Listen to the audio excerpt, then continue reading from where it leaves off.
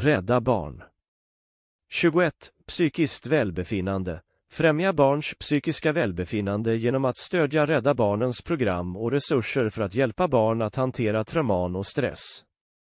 Psykiskt välbefinnande är en avgörande aspekt av barns övergripande hälsa och utveckling. Barn kan uppleva olika typer av trauman och stressfulla situationer som kan påverka deras psykiska hälsa negativt. Därför är det viktigt att främja deras psykiska välbefinnande genom att erbjuda stöd och resurser för att hjälpa dem hantera dessa utmaningar. Rädda Barnen är en organisation som har arbetat länge för att förbättra barns liv och skydda deras rättigheter över hela världen.